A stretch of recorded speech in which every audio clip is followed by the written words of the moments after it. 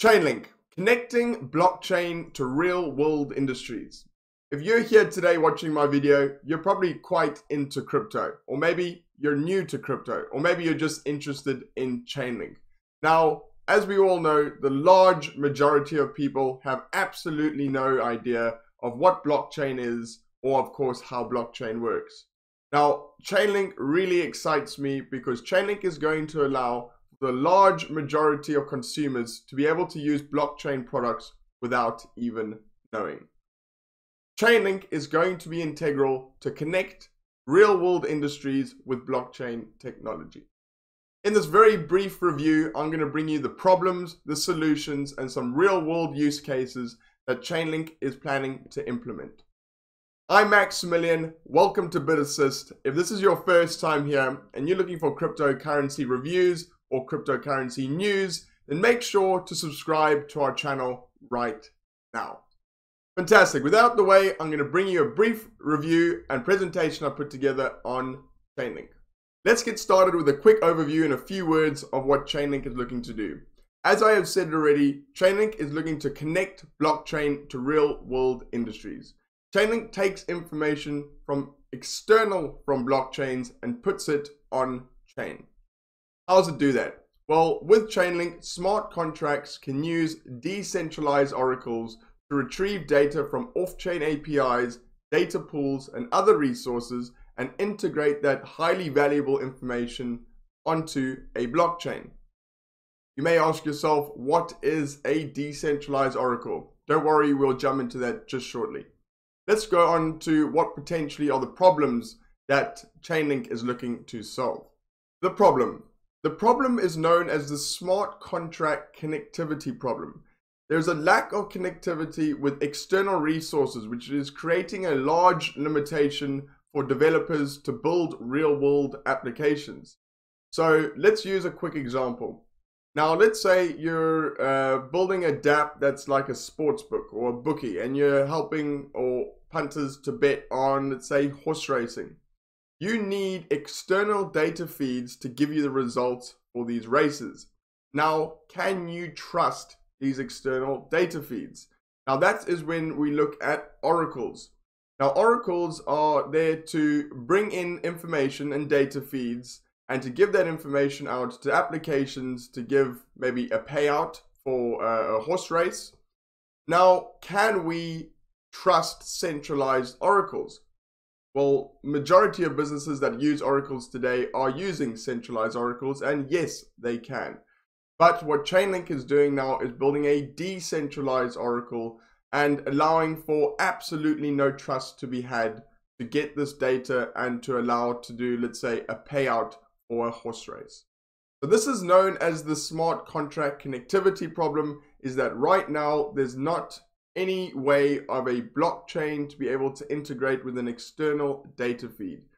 Chainlink now is looking to solve that problem.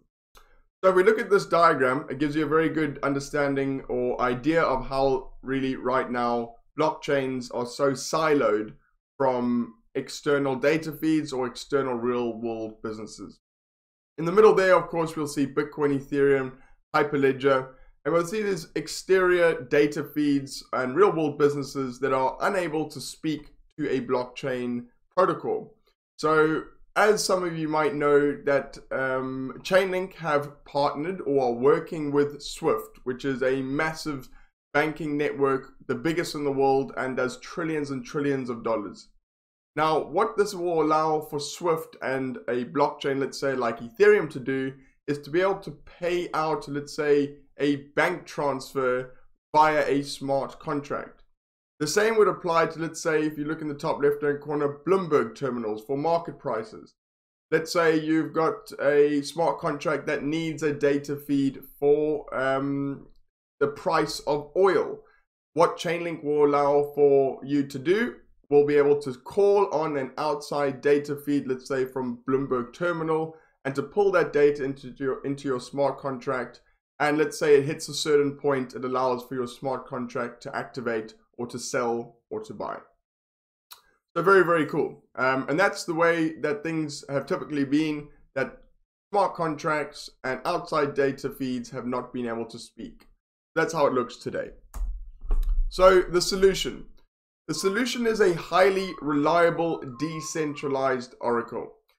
The Chainlink solution works as a secure blockchain middleware between non-tamper-proof smart contracts and external data sources such as APIs. As we've shown in the in the previous image, is that smart contracts are tamper-proof. Um, of course, they are immutable, but these external data feeds um, don't really speak to immutable smart contracts. Um, so they've needed a middleman or a middleware, as said here, to help that um, two parties to come together to allow for a simple, seamless operation starting from outside data feed to someone getting, let's say, paid or a smart contract getting triggered or, you know, something along those lines. So some of you might be thinking like, what's an Oracle? What's a decentralized Oracle? Um, so quickly going to take you through how the Chainlink decentralized Oracle works. So it's got an inbuilt reputation system, bidding system, and a decentralized network that relies on independent Oracle service providers. Let's say that's like um, data feed providers. Users can ensure their data is trustworthy as it's verified by multiple independent sources. So basically how we can assume that this decentralized Oracle and the data that's being fed through it is real is that there's a reputation system between all the different oracles and data providers.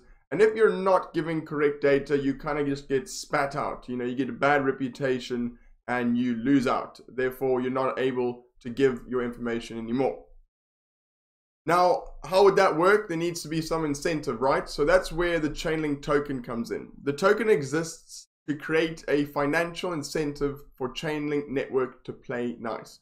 Um, now, as I've just said, um, if you're a data provider, let's say for horse racing, and uh, you provide great clean data that is always correct, you're going to get incentivized and you're going to earn link tokens. Now, link tokens, of course, can be sold in the open market or they can uh, be traded within a network. But really earning that is a massive incentive to make sure that your data is correct. On the other hand, if your data is incorrect, you're not going to earn the Chainlink token, otherwise known as Link. And of course, your reputation will be very low, therefore being kicked out. So this is how the Chainlink Oracle is kind of making sure that all the information is above board. So the bad actors are removed, as I've said, uh, disincentivized from the system, and the most trustworthy nodes are the most profitable. This gives a free market economic benefit for Oracle services to be consistently trustworthy and providing great data or their own data.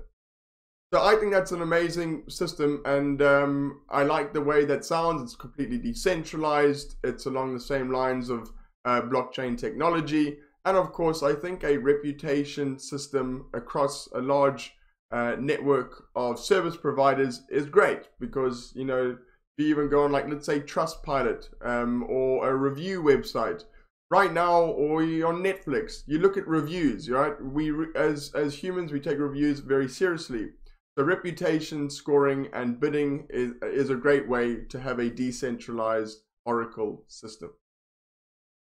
In this next image, it's going to kind of just show you how um, the Chainlink um, Oracle would work. So let's take from um, the top, um, it's got Swift, Banks, um, uh, Citigroup, Chase, HSBC, then coming through to the Chainlink Oracle, and then through to a smart contract platform or let's say Bitcoin. Now, if we take it from um, take it from here, they pull um, um, a bank transfer information from the Swift network or from Chase Bank. It goes to the Chainlink Oracle, which um, can pull in the data, make sense of all the data, put it into the right format, which will spit that out into a smart contract or use that Oracle to input that data into a smart contract, which then can be settled on the blockchain. Again, taking external data, putting it into a smart contract and settling it on the blockchain. There are many different use cases and we're going to jump into those right now. So, um, use cases of a Chainlink decentralized Oracle nodes. Now, um, exchange rate data. I've already mentioned that um, on, let's say, Bloomberg terminals for oil prices. So, for accurate pegging of stable coins to a fiat currency. It's a good example. Uh, capital markets data, pricing baskets of tokenized assets and securities. Uh, benchmark reference data, so that's incorporating like interest rates into smart financial derivatives. Um, the one that I really like is time and interval data uh, for event triggers grounded in precise SI time measurement. Um, another one that I also really like is sporting events, as I've already mentioned, for prediction market resolution and fantasy sports contracts. Um, a great example is flight statistics. Um, so as used by passengers that may have uh, missed flights for compensation. So I'm going to move on to another example I've got here um, on that exact topic. So let's say, for example, um, I go and I, maybe it doesn't happen right now, but it will surely happen in the future. I buy a ticket off an app, um, let's say EasyJet. Okay, I buy my ticket. I have no idea that it's on the blockchain and it's using a smart contract, but I just go along and buy my ticket. I've been told um, uh, a few days later there's some severe weather delays, um, and my unfortunately the airport gets in touch with me and says that my flight has been cancelled. Now this information is going to get fed immediately from this um, Oracle or from this data feed at the airport via the Chainlink Oracle, which will then be pushed through to the smart contract I originally bought my plane ticket through, and I would be paid out automatically my compensation. At the same time, what we can integrate into this as well is, let's say, a, a an insurance provider. Um, and um, let's say the the insurance provider was happy to pay X amount for three hour delay or X amount for the whole day delay. That that Oracle data as well can get bundled in with the airport's data um, into your smart contract, and you could get paid out for not being able to get your flight. So yeah, that's about it. Um, I didn't want to keep this too long. Uh, it's quite a, um, a confusing and in-depth operation. is a hell of a lot more technical than I've done. I just wanted to give whoever was looking to watch an overview, uh, an idea of what Chainlink is. I do think Chainlink's incredibly important for adoption of businesses to use blockchain technology for applications to actually have real world use cases. So if you have enjoyed this, make sure to subscribe to our channel. Uh, we do try to bring you a video once a week. Sometimes we cannot for other things that get in the way, but we do enjoy hearing your feedback. So do make sure to give us a like if you've enjoyed this. If you've got questions about, let's say, uh, ways that Chainlink can be implemented you'd like to explore further or you'd like us to look into with some more detail, then make sure to get in touch uh, in the comments below. That's it. I'm Maximilian. Thank you for watching, and we'll see you again soon.